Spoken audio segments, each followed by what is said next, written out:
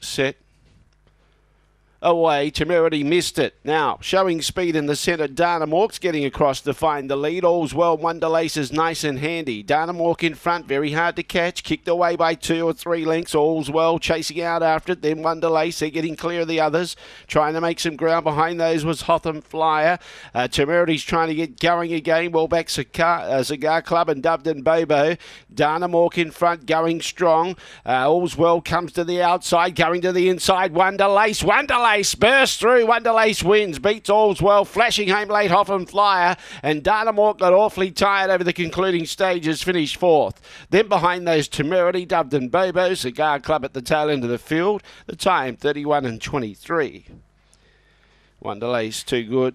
Loved that inside round. Surged strongly when it got the inside coming around the turn up the front straight. Eight beats two, six, and five. The time 31 23. 31.23. Winning margin was a length. And Wonderlace, uh, too good. 327 was the early split. 16.11. 31.23 the time. 15.12 coming home.